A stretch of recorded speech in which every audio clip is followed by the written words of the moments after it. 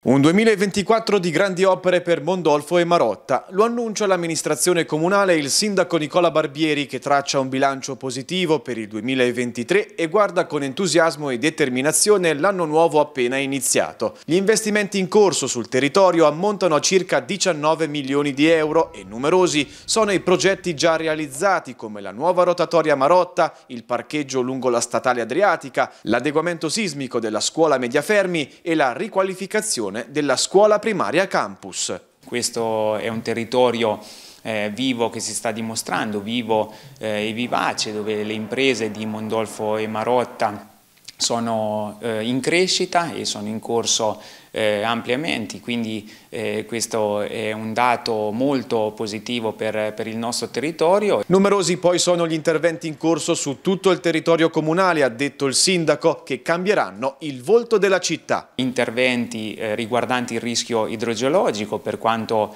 eh, riguarda la riduzione del rischio allagamenti eh, nella zona di, di, Marotta Nord, quindi saranno interessate via eh, Corfu, via Ferrari, via Betti e via Martini. Sempre sul rischio idrogeologico abbiamo ottenuto un importante finanziamento per la messa in sicurezza del fosso eh, di Rio Stacciola. Continueranno gli interventi per quanto eh, riguarda eh, la mobilità sostenibile, quindi completeremo il percorso ciclopedonale che collega Cento Croci a eh, San Gervasio. Continueranno eh, i lavori realizzati grazie ad un importante finanziamento da parte della Regione Marche che sono quelli del ponte ciclopedonale sul Cesano, un'opera strategica anche dal punto di vista turistico che ci permetterà di collegare il lungomare di Marotta con quello eh, di eh, Senigallia. Poi ha continuato il primo cittadino, è in corso il potenziamento delle scogliere per un importo di 1.260.000 euro per la difesa del litorale di Marotta e a breve l'inizio dei lavori per il nuovo asilo a Cento Croci. Nella prossima primavera la riqualificazione del lungomare sud dal sottopasso Togliatti alle vele. In questi anni abbiamo